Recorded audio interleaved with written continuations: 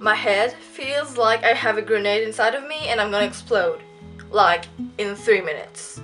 That's not a great feeling. I'm just really, really tired and I wanna sleep right now. Hey guys, what's up? Today I'm here to make my Monday update and as you can tell by the little intro, I'm I am sick. Not really, I'm not really sick, but I'm kind of sick. I think I'm gonna be sick soon. So do not judge my face or my facial expression because yes. So I am still currently reading The Hunchback of Notre Dame. yes, I am still currently reading this because I've read a chapter and I was so not into it that I decided to just put it down but it says cool so I'm still gonna have to read this but Percy Jackson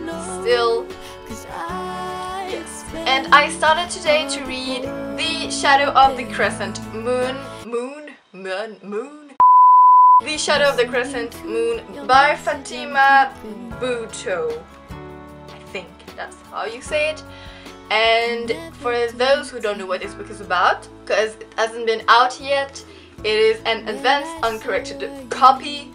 This book is coming out on the 24th of March and I will talk about it more in my February book haul in my March book haul. Wow, I'm so late in my March book haul because I won this book in a giveaway on Goodreads so I will talk about it a bit more in my March book haul. I started to read this book and I want to finish it and make a review of it like on the 24th if I'm lucky. So for the 2015 reading challenge I did not complete a lot of challenges because I'm in a kind of a reading slump and that's not great. I did uh, complete to read a non-fiction book that was Yes Please by Amy Poehler. That, that was it. A mystery or a thriller? Ah, my life.